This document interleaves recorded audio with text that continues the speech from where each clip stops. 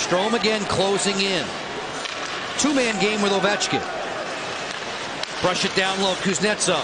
Strome, then oh, Oshie fires off the inside, he scores! TJ Oshie. And dead on target. Here's doing a little cleaning there was TJ Oshie getting the broken stick out, then takes a little step back, and there comes the shot. Right over the catching mitt. More in the crux of the arm than the glove.